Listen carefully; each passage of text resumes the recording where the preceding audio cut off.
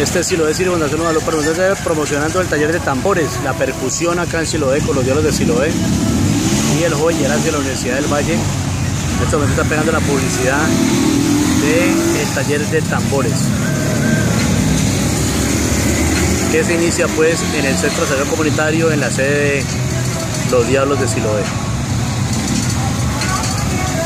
Para todos los niños y jóvenes que quieran tocar tambor, aprender a tocar tambores o a pulirse porque ya saben bueno, los niños aquí ya en Siloé saben, eh, pueden acercarse al centro de salud comunitario, preguntar por Doña Rudy y ella, le da los horarios dos días a la semana donde se va a tocar pues eh, de una manera técnica los tambores con el joven Gerardo.